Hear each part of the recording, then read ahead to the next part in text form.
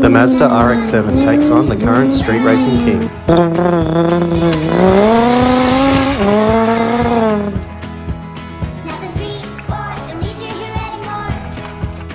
And the Mazda RX-7 not good enough to take down the Skyline.